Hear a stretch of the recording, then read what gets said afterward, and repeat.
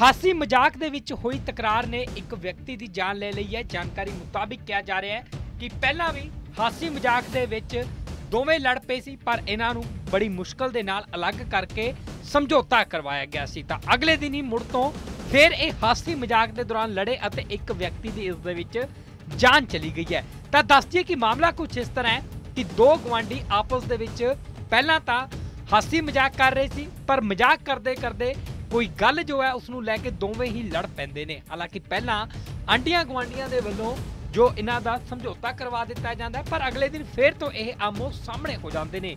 ਤਾਂ ਦੱਸ ਦਈਏ ਕਿ ਜਿਸ ਦੇ ਵਿੱਚ ਸੁਖਵਿੰਦਰ ਸਿੰਘ ਦੀ ਮੌਤ ਹੋ ਗਈ ਹੈ। ਜਾਣਕਾਰੀ ਮੁਤਾਬਿਕ ਕਿਹਾ ਜਾ ਰਿਹਾ ਹੈ ਕਿ ਇਸ ਦੀ ਆਪਣੇ ਗੁਆਂਢ ਦੇ ਵਿੱਚ ਰਹਿੰਦੇ ਬਬਲੂ ਦੇ ਨਾਲ ਮੁੜ ਤੋਂ ਲੜਾਈ ਹੁੰਦੀ ਹੈ। ਹਾਲਾਂਕਿ ਬਬਲੂ ਨੂੰ ਇਹ ਜ਼ਮੀਨ ਦੇ ਉੱਤੇ ਢਾ ਲੈਂਦਾ ਹੈ ਤੇ ਉਸ ਦੇ ਉੱਪਰ ਬੈਠ ਜਾਂਦਾ ਪਰ ਇਹ ਸਭ ਕੁਝ ਦੇਖ ਕੇ ਜਦੋਂ ਬਬਲੂ ਦੀਆਂ ਧੀਆਂ ਸਾਹਮਣੇ ਆਪਣੇ ਪਿਤਾ ਦਾ ਬਚਾਅ ਕਰਨ ਦੇ ਲਈ ਆਉਂਦੀਆਂ ਨੇ ਤਾਂ ਉਹਨਾਂ ਦੇ ਹੱਥ ਦੇ ਵਿੱਚ ਕੱਪੜੇ ਧੋਣ ਵਾਲੀ ਥਾਪੀ ਹੁੰਦੀ ਹੈ। ਤਾਂ ਜਿਸ ਥਾਪੀ ਦੇ ਨਾਲ ਕੱਪੜੇ ਧੋਏ ਜਾਂਦੇ ਨੇ, ਉਸ ਦੇ ਨਾਲ ਕਈ ਵਾਰ ਸੁਖਵਿੰਦਰ ਦੇ ਸਿਰ ਦੇ ਉੱਤੇ ਕੀਤੇ ਜਾਂਦੇ ਨੇ, ਜਿਸ ਦੇ ਵਿੱਚ ਸੁਖਵਿੰਦਰ ਦੀ ਕਿਹਾ ਜਾ ਰਿਹਾ ਹੈ ਕਿ ਮੌਕੇ ਤੇ ਹੀ ਜਾਂਚ ਚਲੀ ਗਈ ਹੈ। ਤਾਂ ਦੱਸਦੀਏ ਕਿ ਹੁਣ ਮੌਕੇ ਤੇ ਪੁਲਿਸ ਪਹੁੰਚੀ ਹੈ ਤੇ ਮਾਮਲੇ ਦੀ ਜਾਂਚ ਸ਼ੁਰੂ ਕਰ ਦਿੱਤੀ ਗਈ ਹੈ। ਤਾਂ ਪਿਤਾ ਨੂੰ ਬਚਾਉਣ ਦੇ ਲਈ ਆਈਆਂ ਧੀਆਂ ਨੇ ਇੱਕ ਵਿਅਕਤੀ ਦਾ ਕਤਲ ਕਰ ਦਿੱਤਾ ਹੈ। ਕਿਹਾ ਜਾ ਰਿਹਾ ਹੈ ਕਿ ਥਾਪੀਆਂ ਦੇ ਨਾਲ ਕਈ ਵਾਰ ਉਸ ਵਿਅਕਤੀ ਦੇ ਸਿਰ ਦੇ ਵਿੱਚ ਕੀਤੇ ਗਏ ਜਿਸ ਕਾਰਨ ਉਸ ਵਿਅਕਤੀ ਦੀ ਮੌਤ ਹੋ ਗਈ। ਫਿਲਹਾਲ ਪੁਲਿਸ ਪਹੁੰਚੀ ਹੈ ਤੇ ਮਾਮਲੇ ਦੀ ਜਾਂਚ ਸ਼ੁਰੂ ਕਰ ਦਿੱਤੀ ਗਈ ਹੈ। ਬਸ ਆਹ ਹਾਸਾ ਮਜ਼ਾਕ ਸੀ ਕਿਸੇ ਗਲੀ ਦੇ ਵਿੱਚ ਜੀ। ਮਲਕੀਤ ਸਿੰਘ ਤੇ ਮੁੰਡਾ ਸੁਖਵਿੰਦਰ ਸਿੰਘ ਬਬਲੂ ਇੱਥੇ ਖੜੇ ਸੀ। ਅੱਛਾ ਜੀ। ਤੇ ਸਾਂਢ ਲੰਘ ਰਿਹਾ ਸੀਗਾ। ਅੱਛਾ ਜੀ। ਪਰਸੋਂ ਦੀ ਗੱਲ ਹੈ। ਅੱਛਾ ਜੀ। ਤੇ ਉਹ ਨਾਲ ਲੱਗ ਇੱਥੋਂ ਕਿਰਾਏਦਾਰ ਮੁੰਡਾ ਰਹਿੰਦਾ ਉਹਨੇ ਉਹ ਕਹਿੰਦਾ ਵੀ ਅੰਕਲ ਅੱਗੋਂ ਦੀ ਨਾਲ ਲੰਘੋ ਇਹਦੇ ਹੂੰ। ਵੀ ਇਹ ਮਾਰੇਗਾ। ਅੱਛਾ ਉਹ ਜੀ। ਕਹਿੰਦਾ ਵੀ ਮੈਂ ਕਿਹੜਾ ਨਿਸ਼ੇੜੀਆਂ ਵੀ ਯਾਰ ਮੈਨੂੰ ਮਾਰੂਗਾ। ਹੂੰ।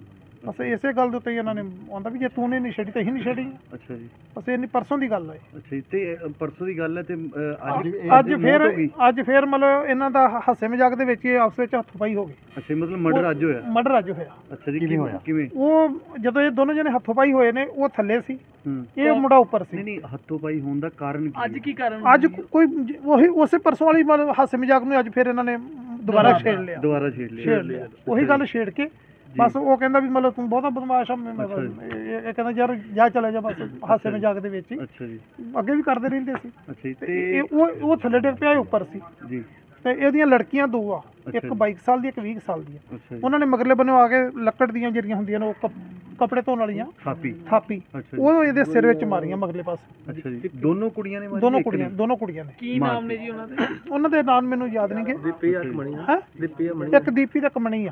ਅੱਛਾ ਜੀ। ਇਹ ਇਹ- ਇਹਦੀ ਗੱਡੀ ਚਲਾਉਂਦਾ ਇਹ, ਅਹ, ਮੱਖਣ ਸਿੰਘ ਦਾ ਨਾਮ ਮੁੰਡੇ ਦਾ। ਕੁੜੀਆਂ ਦੀ ਕਿੰਨੀ ਕੁ ਉਮਰ ਹੋਊਗੀ? ਉਹਨਾਂ ਦੀ ਇੱਕ ਦੀ 22 ਸਾਲ ਇੱਕ 20 ਸਾਲ ਦੀ ਆ। ਅਨਮੈਰਿਡ ਨੇ ਅੰਕਲ ਜੀ ਜਿਹਦਾ ਮਰਡਰ ਹੋਇਆ ਉਹ ਕੰਮ ਕੀ ਕਰਦਾ ਕੀ ਨਾਮ ਉਹਦਾ? ਉਹਦਾ ਨਾਮ ਸੁਖਵਿੰਦਰ ਸਿੰਘ ਬਬਲੂ ਆ। ਜੀ। ਉਹ ਟੈਂਪੂ ਚਲਾਉਂਦਾ। ਅੱਛਾ ਜੀ। ਪ- ਪ- ਪਲਾਗੋ।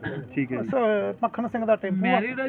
ਨਹੀਂ ਅਨਮੈਰਿਡ ਆ ਆਹ ਘਰ ਉਹਦਾ। ਕੱਲਾ ਕੱਲਾ ਹੀ ਰਹਿੰਦਾ ਸੀ। ਉਹ ਕੱਲਾ ਰੀਦਾ ਨਾਲ ਉਹਦਾ ਭਰਾ ਵਾ। ਕਿੰਨੇ ਕ ਟਾਈਮ ਤੁਰੇ ਰਹਿੰਦੇ ਹੋ ਇਹ ਤਕਰੀਬਨ 30 35 ਸਾਲ ਤੋਂ ਜਦੋਂ ਦੀ ਇਹ ਜਗ੍ਹਾ ਵਿਕੀ ਆ ਉਦੋਂ ਦਾ ਹੀ ਉਹਦੇ ਪਿਓ ਨੇ ਮਕਾਨ ਲਿਆ ਸੀ। ਅੱਛਾ ਤੇ ਇਹ ਜਿਹੜੀ ਥਾਪੀ ਮਾਰੀ ਹੈ ਉਹ ਦੋ ਕੁੜੀਆਂ ਨੇ ਮਾਰੀ ਹੈ ਦੋ ਕੁੜੀਆਂ ਨੇ ਮਾਰੀਆਂ ਉਹ ਤਾਂ ਬਾਪ ਜਿਹੜਾ ਸੀ ਉਹ ਥੱਲੇ ਸੀ ਅੱਛਾ ਇਹ ਮੁੰਡਾ ਉੱਪਰ ਸੀ। ਅੱਛਾ ਜੀ। ਇਹ ਆਪਸ ਵਿੱਚ ਲੜ ਰਹੇ ਸੀ। ਠੀਕ ਹੈ ਇਹ ਜੀ। ਛਡਾ ਰਹੇ ਸੀ ਮਲਕੀਤ ਸਿੰਘ ਮੱਖਣ ਸਿੰਘ ਉਹਨੇ ਲੱਗੋ ਛਡਾ ਰਹੇ ਆ। ਅੱਛਾ ਜੀ। ਮੈਂ ਤੇ ਪੈਲਸ ਵਿੱਚ ਵਿਆਹ ਵਿੱਚ ਸੀ।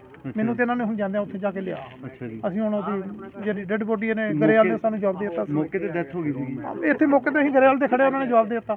ਅੱਛਾ ਜੀ। ਸਿਵਲ 'ਚ ਖੜੇ ਉਹਨਾਂ ਨੇ ਸਾਰੇ ਜਦੋਂ ਚੈੱਕ ਕੀਤਾ ਉਹ ਕਹਿੰਦੇ ਨਹੀਂ ਡੈਡ ਤੇ ਪੁਲਿਸ ਨੂੰ ਇਤਲਾਹ ਕਿੰਨੀ ਦੇਰ ਤੋਂ ਬਾਅਦ ਕੀਤੀ? ਉਹ ਉਹਨਾਂ ਨੇ ਤਲਾਕ ਕੀਤੀ ਹੈ ਜੋ ਸਿਵਲ ਵਾਲਿਆਂ ਨੇ। ਸਿਵਲ ਵਾਲੇ ਨੇ। ਅੱਛਾ ਜੀ। ਇਹ ਤਾਂ ਅਸੀਂ ਫਟਾਫਟ ਹਸਪਤਾਲ ਹੀ ਪਹੁੰਚਾਉਣ ਦੀ ਕੋਸ਼ਿਸ਼ ਕੀਤੀ। ਤੇ ਕਿੰਨੀ ਉਮਰ ਸੀ ਜੀ ਬੰਦੇ ਦੀ? ਇਹਦੀ ਤਕਰੀਬਨ 38 ਤੋਂ 40 ਦੇ ਵਿਚਕਾਰ ਆ। ਅੱਛਾ ਜੀ। ਤੇ ਚਾਲੀ ਪਹਿਲਾਂ ਵੀ ਕਦੀ ਕੋਈ ਇਦਾਂ ਦੀ ਗੱਲ ਹੋਈ ਲੜਾਈ ਝਗੜੇ ਨਹੀਂ ਦੀ? ਪਹਿਲਾਂ ਇਹਨਾਂ ਨਾਲ ਕੋਈ ਲੜਾਈ ਝਗੜਾ ਨਹੀਂ ਹੁੰਦਾ ਬਸ। ਇਹ ਇਕੱਲਾ ਰਹਿੰਦਾ ਆਹ ਮਕਾਨ ਉਹਦਾ ਆ ਉਹਦੇ ਨਾਲ ਭਰਾ ਦਾ ਮਕਾਨ। ਆ ਅੱਛਾ ਜੀ। ਤੇ ਭਰਾ ਨੇ ਪਹਿਲਾਂ ਸਾ- ਸਾਰੇ ਮਕਾਨ ਦੀ ਆਪਣੇ ਨਾਲ ਰਜਿਸਟਰੀ ਕਰਾ ਲਈ ਸੀ। ਤੇ ਭਰਾ ਮੌਕੇ ਤੇ ਸੀਗਾ ਉਦੋਂ? ਭਰਾ ਮੌਕੇ ਤੇ ਸੀ, ਉਹ ਕਹਿੰਦਾ ਵੀ ਮੇਰੇ ਵਾਸਤੇ ਮਰ ਗਿਆ ਕਿਉਂਕਿ ਉਹਨੇ ਹਿੱਸਾ ਲੈ ਲਿਆ ਨਾ ਆਪਣਾ। ਅੱਛਾ ਜੀ। ਪਹਿਲਾਂ ਇਹਨੇ ਹਿੱਸਾ ਸਾਰੀ ਰਜਿਸਟਰੀ ਇਹਨੇ ਕਰਾ ਲਈ ਸੀ ਭਰਾ ਨੇ। ਜੀ। ਹੁਣ ਅਸੀਂ ਮਹੱਲੇ ਵਾਲਿਆਂ ਨੇ ਰਲ ਕੇ ਤੇ ਇਹਨੂੰ ਅਸੀਂ ਇਹਦਾ ਹਿੱਸਾ ਤੇ ਦਵਾਤਾ ਜਿਨ੍ਹਾਂ ਨੇ ਮਰਡਰ ਕੀਤਾ ਉਹ ਫਰਾਰ ਹੈ ਜੀ ਭੱਜ ਗਏ ਸੀ ਸਾਰੇ? ਉਹ ਉਹ ਹੁਣ ਘਰੋਂ ਅਸੀਂ ਅਜੇ ਹੁਣ ਆ ਰਹੇ ਹਸਪੀਟਲ ਅਜੇ ਦੇਖਦੇ ਹਾਂ ਹੁਣ। ਅੱਛਾ ਜੀ। ਵੀ ਇੱਥੇ ਕਿ ਨਹੀਂ? ਠੀਕ ਬਾਕੀ ਉਹਦੀਆਂ ਭੈਣਾਂ ਦੋ ਨੇ ਵਿਆਹੀਆਂ ਨੇ। ਅੱਛਾ ਜੀ। ਉਹਨਾਂ ਨੂੰ ਤਲਾਕ ਕਰਤੀ ਆ। ਠੀਕ ਹੈ ਉਹ ਸਵੇਰੇ ਆਉਣਗੀਆਂ। ਜੋ ਉਹਨਾਂ ਦੀ ਕਾਰਵਾਈ ਕਰਨੀ ਹੋਏਗੀ ਉਸ ਹਿਸਾਬ ਨਾਲ ਅਸੀਂ ਚੱਲਾਂਗੇ। ਠੀਕ ਹੈ ਉਹ ਵੀ ਗਰੀਬ ਪਰਿਵਾਰ ਆ। ਅਸੀਂ ਇਹ ਵੀ ਨਹੀਂ ਚਾਹੁੰਦੇ ਕਿ ਉਹਨਾਂ ਨਾਲ ਵੀ ਮਤਲਬ ਇੰਨੀ ਜਾ ਜਾਵੇ ਝਗ- ਜਿਹੜਾ ਕਾਰਨ ਸੀ ਉਹ ਮਾਮੂਲੀ ਗੱਲ ਸੀ ਮਾਮੂਲੀ ਉਹ ਗੱਲ ਕਤਲ ਸੀ। ਤੱਕ ਪਹੁੰਚ ਗਈ। ਕਤਲ ਤੱਕ ਪਹੁੰਚ ਗਈ। ਦੋ ਕਤਲ ਹੋਏ ਨੇ ਅਜੇ ਇੱਕ ਹੋਰ ਹੋਇਆ ਇੱਧਰ। ਜੀ।